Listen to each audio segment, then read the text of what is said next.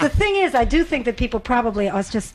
I mean, you have a great body. People also probably are astounded about a certain kind of physical stamina. You know, I mean, it's like once I talked to you, I think it was on the phone, and you said you don't do anything special in terms of exercise or anything like that. That it's like your stage work takes care of it. That still is the case. Yeah. Let me just ask: Doesn't this make sense if people use their heads? How long have I been doing that? Isn't that the answer? I mean, wouldn't you automatically know that if I, I've been doing that for as long as you've known me, or as long as you've read any articles that Tina's storming, da da da da da, if she's been doing that for 20 years, wouldn't she be in shape? Wouldn't she be in shape to do it for as long as anything? Uh, my body, I've been, do- my heart has been going at the same momentum every night for two shows a night for so long. It's probably strong as an ox. Wasn't it more than two night, two shows a night? Some shows, and no, in the early days they were all two shows a night. This was I'm, I'm not speaking of the Ike days. I'm speaking of the last eight years of of being on my own. So, but what the people are missing is that you can't put a limit on me. I've been doing this for 20 years. It's not like how long can you go and how do you do it. I have been exercising and singing, singing, and in a high tone. So that means that's, that's the muscles and all of that, and the dancing, all at the same time. My body's probably in fantastic shape. That's how I do it, and how I can probably do it and still do it forever. But they're not thinking, they don't know about health. That's what it is. I also think it's possible too that I mean there's a talent there. Just somebody for singing for 20 years still doesn't sound. I mean, do you know what I'm saying? It's like you've got this Well, maybe voice. It's a gift, don't you think? I mean, also Well, why should I lose my voice at 40? I don't understand what's going on.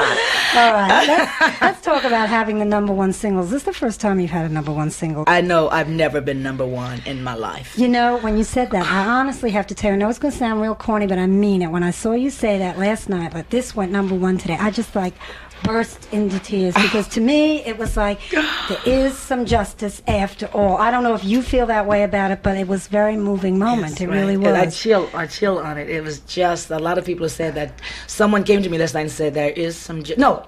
When I was signing autographs, there is some justice after all. It's been said. Yeah, number number one. I I, I I can't relate. I said, Roger, frame it. I have to look at that one. I want it blown up. I, I, I want the trades blown up. My life at this point, I had no idea to, that I would be climbing among the people that I am among. I mean, look at the competition of what I had to go around and to move out of the way to get up there. Don't you think you're better than them? It wasn't a matter of being better. It's their fans, and look at the fans and the credibility they have, as well as I.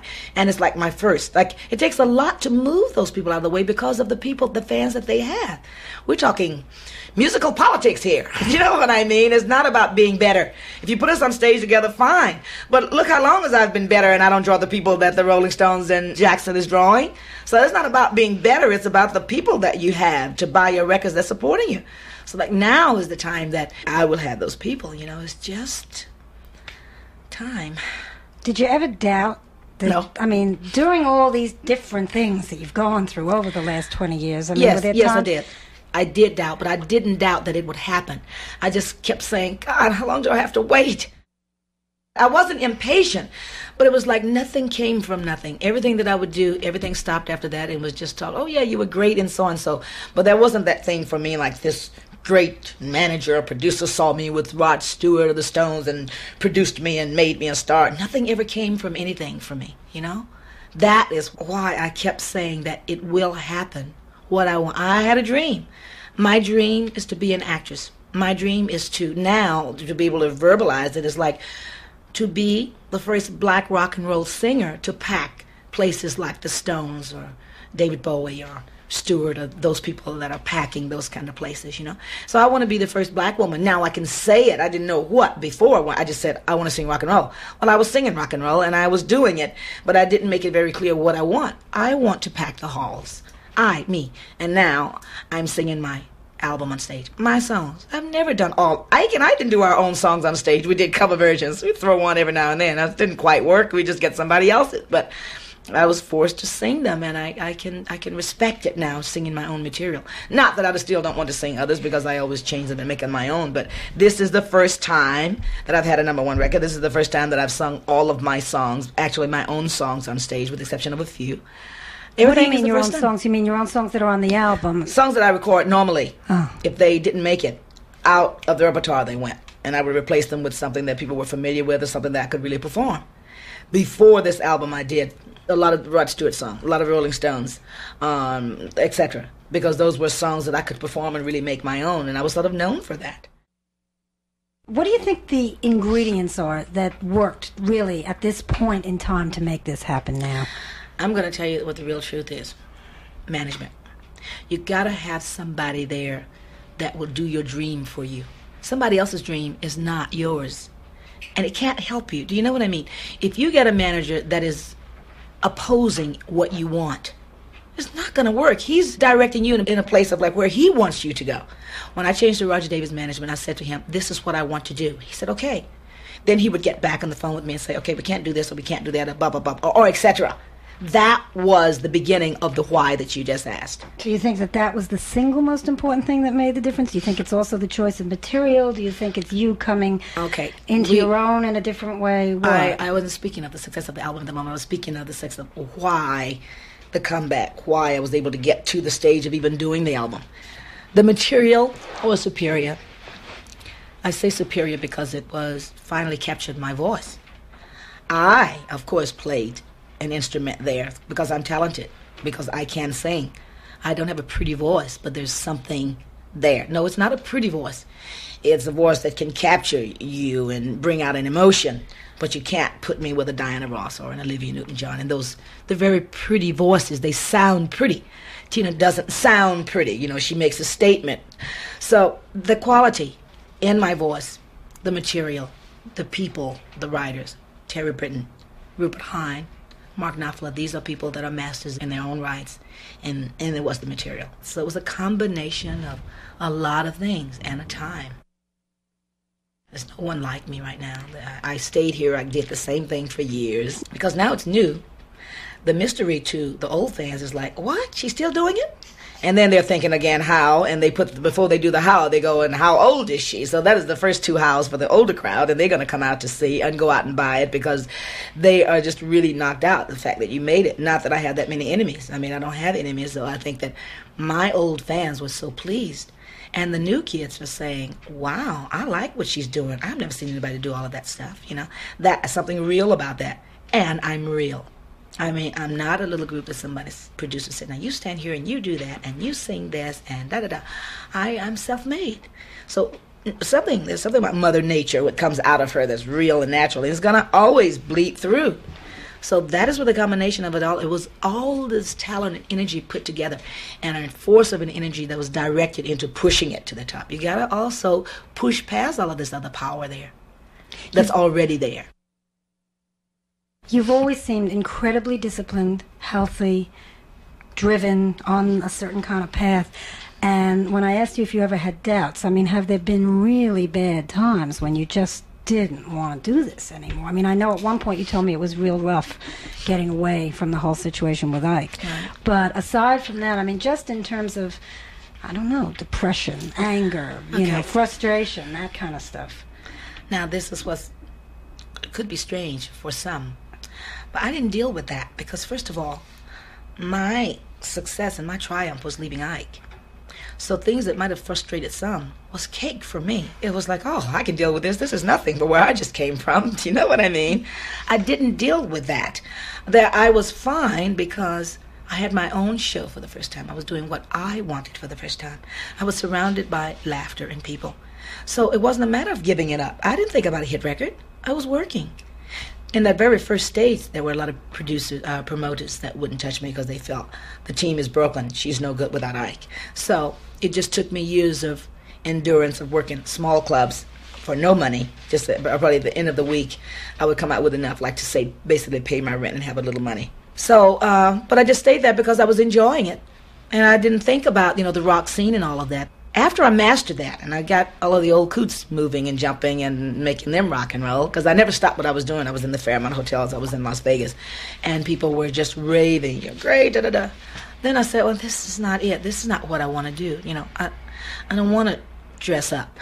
I don't want to put these sequin dresses on anymore. Looking at pictures now, saying, God, I remember when I changed my mind about wanting to do that anymore. First, it was exciting going to Bob Mackie, getting those dresses, and, and then I didn't want to do that anymore. And then I said, Well, then what is it? And it was, I want to get into those rock halls and do that stuff. That was the road to where I am now. We got a rock and roll band. We started looking more rock and roll, just being that, you know. In terms of interpreting songs. You know, you've been really a, an interpreter of, of other people's songs, and you bring something to it that's right. your own, totally. Yeah. How do you feel about writing songs? I mean, how do you feel about like well, taking that step? Or yeah. you don't. I'm learning how to take what has inspired me from people like Jagger, Stewart, and now Springsteen. I've sort of just gotten into yeah, I wanted to do so badly. His thing is a single, and Roger went, "You will not," you know. I wanted so Christ, I'd choreographed it and everything. I was gonna do it almost too, and he stepped back from Europe just in time. I I'm learning about the simplicity. I want to sing simple songs, but why I haven't been able to write because I didn't have that in my vocabulary. I was unhappy. I dealt with fear. These guys were dealing with parties and having a good time so they could write about their experiences. I know that songwriting is about your experiences, but my experiences was not to write about it. I didn't want to write about it. I didn't even want to think about it. Now that I'm beginning to have a little fun in my life, I think I'm going to be able to write it because I'm listening to these guys and what they're saying. And then I'm looking at my own life, but trying to put it into words is my next step. I'm going to write with Terry Britten as soon as I get a little bit of time off. I think that's going to be a great inspiration because he's fantastic. And I think I'll be able to tune back into how it writing is. How I started writing was I was assisting a writer at Bolic Sound, and uh, he would come up with four great lines and blow the whole darn thing afterwards. And then I felt, well, God, if I can clean up his songs, I can write my own. But I was trapped. I was I could only write about Buddhism, which I was just getting into, and I could only write about women, which was the, the sexy out of black widow spider thing. I mean, that's all I knew. My visors were up, you know. So what else was there for me to write about? Nothing. So now I got out, and I've been out for eight years, and the fun kind of just started. So I think I'm going to be able to start writing soon. The European man has nothing about marrying a black woman if he loves her and if he has chosen one for himself. In America, it's almost shameful. You got to go through the mother bed and you got to go through society, and it's still that old slavery thing that they're still black. We're still niggers in America. I don't care how much a woman has claimed to fame or what she is, like she's still a nigger. And in Europe, they go they go basically on society you know how much money you have what position you have etc and you, you are sort of accepted uh, and stat as far as your status is concerned. That is the attitude I get all over Europe. I haven't really experienced any because you know I'm a performer, and I'm a, I'm a successful one. And there are some that has experienced some, but also there are a lot of white kids that said the British are horrible. Like if you are low class, mainly third, second, you know it. The hostility when you go up and you ask, they go, what? Very short you know answer. So it's like they categorize everybody in, in, in so far as where they want to put you. But in america it's definitely the prejudice thing is still there so. And you can feel it as a woman. You can just know you know how women are they sort of got a like, like cat-like instinct about when they are accepted. And it's like a sort of like a desire for that there. They, they sort of care about ethnic women i think private dancer I love that I listen immediately. To that over and over yes. and over and over. It's so it's too long for a single, isn't it? That's we can't you it's modified. It? Yeah, it's already chopped. Oh, good. Yeah. Oh, because yeah. it's gorgeous. Isn't it great? Oh, that one and what's love got to do with it? Oh, it's just like I made but those two, listen to it. Those two were my favorite two in the very beginning. But we knew that we couldn't do Private Dancer as a single. So then after we did Might Have Been Queen, then I realized, well, okay, to for a release. But I just said, right, forget it. Private Dancer has to be the the title track. I mean, it has to be the the cover. I just fell in love with it, and I wanted to do it just like he did it. And I did as close to it as I could. You know, he was with the accent. As when we listen to it now, we go, God, no wonder he wanted to give it to you. I mean, the guys teasingly say it, but I think that I sang the song just like he did. I mean, that was how because I I didn't want to change anything. It was just perfect for me. When you heard What's Love Got to Do with It the first time, what'd you think? Can I tell the truth? You didn't want to do it? I hated it. I hit my head. I said, I'm not singing it. That song is nowhere near me. But you see, I'm really, I don't know if you call it naive, but sometimes I don't get things till later. For a long time, I didn't know what I was singing about. What's love got to do with it? As far as I was concerned, I know that love has everything to do with it. Love is the answer to all, and that's all there is. And I was going, well, it's just, uh, I just sing the words or whatever. And then all of us, I didn't. I'm gonna tell you the real truth. Somebody from the crowd says, "Yeah, Tina, right on. What is love got to do?" And I went, "Oh." That's what it's about. Because I didn't get that it was about huh, being naughty. Like, forget love. Come on, you know? And then, so Roger says, all right, all right, all right. So he goes, all right, just listen to this once more. There it comes. And I went, I'm not singing that little cute song. you know? So he says, all right, just one thing. You got to meet Terry Britten. You got to meet him because he's a great writer and, and maybe he can make some adjustments or whatever. And I went, all right. So I was, by then, I'm just like, phooey. This album's not coming together, and God, I have to sing this stuff. And I felt like I'm still singing stuff that I don't want to sing. When I was with Ike, I was singing stuff I didn't want to sing, and here I am again. So we walked in, and this little Terry sitting, his feet were swinging, and he was a jolly face. He's a very optimistic looking person. But he started playing that guitar, and oh, I went, mmm. there was something that, you know how you feel someone's power? I knew that he had something there, and I said to him, It's too cute oh, Turner has never done oh, you know what I mean? And it was like, oh. I said, okay, I don't, it's too cute. He said, all right, all right. I'll just make it a little bit rougher. It just need to be a little rougher for you. So then I said, all right, and this is the key I need to do it in, and da da da da da. So he was very liberal as far as giving to whatever it, it took to make it my own. And then I started liking it. But I still felt that it was wonderful and cute, but not me because I didn't know that it was really naughty. If I had known it was naughty, I would, oh yeah, I'll take that one. What does love got to do with it, you know? Is it really an act? You mean you don't think of well, yourself you as you a don't have to put this on the tape now. I mean, you don't have to let the people know that I'm a dummy. I didn't mean a dummy. I just mean you don't think of yourself as a sexual kind of. Yeah. Uh, well, let me fix it here. I'm an actress. I've been acting for years. That's as close as I can get to explaining it. Uh, yeah, that is me. That is me. That's another me. Now, there's a guy out there that wants to bring that me out later on when the lights are out. He's going to have to set up a stage. okay, here we go. now, God, it is, but it isn't. Why would I want to sing Pretend We're Married? I found the song. Why would I want to sing Honky Tonk Woman? It's got to be a part of me, but it's not something that I dwell on and live by. I don't wear those rag dresses in everyday life, you know. I don't. I'm always in pants. I'm not throwing my legs around all the time.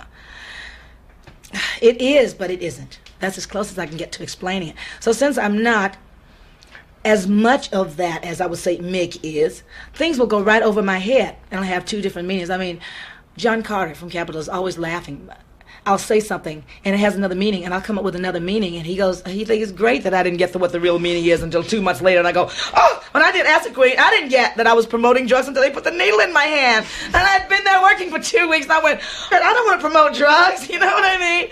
God, I'm so naive sometimes. I wonder when am I going to change over to that brain cell to really get it immediately and not a month later. But that's how I am, you know? But it's fun for me. I don't mind. You know, I know it. It's not like that I'm blind. I know it already, so it's all right. Also, you don't want to be all jaded and cynical and. Yeah, that's right. That's boring too. It's good for it to be a mystery. and Then I get a surprise later when I go, oh, did I say that? Oh, you know what I mean? I mean, it does keep me fresh and new and sort of different. You know, I'm just different. Okay. So here comes What's Love Got to Do with It, which I didn't like the song anyway. And fine that it was climbing the charts, that meant I definitely had to do it on stage, right? And so here they're calling and waking me up again with the chart actions. And I'm going, now don't start that again. I don't want to hear it. But then all of a sudden it started getting scary because it jumped, it started making all kinds of leaps. From it, it went in the charts at 70, jumped from 70 into a figure like 30, and then from there into, and I'm going, hold on, wait a minute, it look, it's looking like, and then Roger's calling me with this other voice going, Darren, looks like uh, we got something on our hands here. I'm not gonna I'm not gonna jump to conclusions here, but this thing is really jumping leaps and bounds. And then it started getting I, I chill now and I think about when it got into top ten because I went, oh shit, you know, it's like all of this stuff that these psychic readers have been telling me about is happening. I think this is it, right? And then it got to the crucial point. I started getting excited then. Then it was fine. You can ring my room and tell me, what is today, Tuesday? When do we get the John action? I became excited then. Okay, so then it got at that little funny stage of like not knowing where it was gonna go. And did I doubt that it would go number one? I became, um, uh, I can't call it doubt. It's almost like when you watch a football game or a, a basketball game or anything, and you're at that last moment and you don't know if you're going to be able, if they're going to do it or not. You don't doubt that they are, but it's like, well, you know what I mean? I don't know the proper word for that. I was very anxious. I was very curious, but I didn't doubt. I knew it had a good possibility because it was it's different. It's, it wasn't like any of the songs it was racing with. If it had been a loud rock and roll song, I would have said, "No, it's not as good as Springsteen. It's not as good as as what Mick and, and, and Jackson is doing. So uh, maybe not." But here it was, a little tee tee tee. Everything else was going home, bang bang bang down down those down down down. And here this little ballad. You got to always have one of those little songs that bleed through, right? That's why I felt that it might push itself in. So that's why I didn't doubt. And then after signing yesterday, there's the first time I was really sort of gotten involved. And I said, "Did anybody get the actions yet?" Roger goes, "Shut up, no, not yet. You're not going to get them from L.A. until uh, whatever time it is, and we're five hours ahead." So I'm signing autographs, and I'd forgotten. And then all of a sudden, he came to me and he said, "Number one," and I went, "Ah!" and all these what kids. Was this in Tower This Records? was in Tower Records, and I just jumped up and I said to everybody, "It's number one," and they all started cheering. It was wonderful. Oh, It that's was great, yeah. But last night it was even better because I said, Roger says, why don't you say to them tonight? Because I had been saying, and this is one I happen to like as well. Most love got to do with it. So then last night I said, uh, It this went number one today. and uh, this one happened. You you happen to have made this one number one, as whatever it is. And they didn't know what it was. They were just like they got very quiet, which is quiet at the Ritz, you know. And then the, they went. The guys went do do do, and oh God! And Oh, then every finger great. went up. It was great. They were like number one, but it's like I gave them the credit because that is where the credit is due. They bought it. They were in line. There were albums. I signed albums yesterday. I not- saw them lining up in yeah, the morning. it wasn't yeah. just pieces of paper. So, but I have resolved myself, and which I did for a while. Yes, I did. I resolved myself to. I don't know what make hit rec- records, so I'll sing now whatever it is I can sing at my best, and I'm gonna leave that up to Roger until I find out, and then I'll fight with him. then he'll have a problem. But I know stage songs, but I'm not real good with what makes a hit record. As I never liked. I liked very few songs that were, were successful of Ike's and mine as well. So, What about the what Proud Mary? but probably was a cover Um, version, of course. There's one that River I, Deep. Yeah, Rivers Deep was, you know, that was one of sort of a thing that was by Phil Spector. I liked the song because it was different. It wasn't R&B. I was tired of singing R&B. It was the first time I'd ever done anything other than R&B. So I was very excited about that. Proud Mary was one that I had, again, I had begged Ike to do and finally started doing it on stage. And then when we signed with the record company, they asked that we record it. So that's what that's about. But all of that other stuff. Idolize you and fooling, loving, poor fooling. Oh, I have one though. I have a live album from God knows when it was, with Venetta Fields is on it with you, and it's all scratched up, and I can't even find it anymore. And it's like I don't even That was remember. That's one Live of my in Paris, favorite. uh, what- that- that album live would go. Paris. It was a blue album with a red and yellow wavy writing on the top.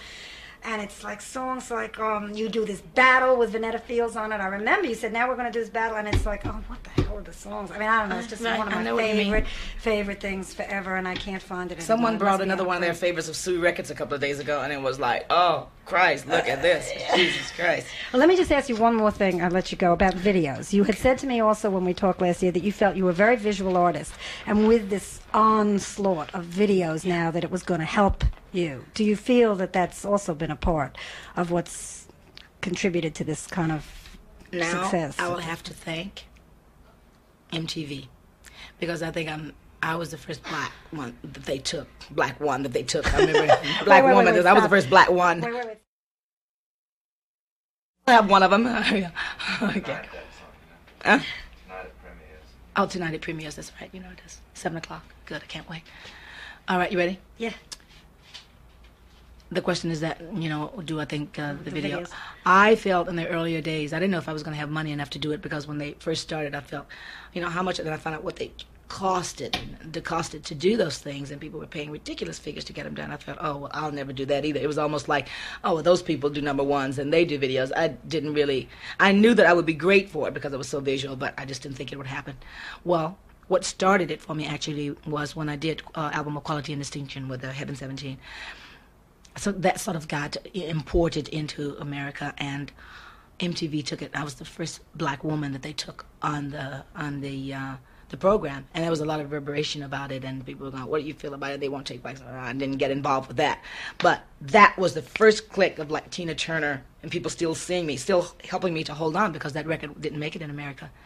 either.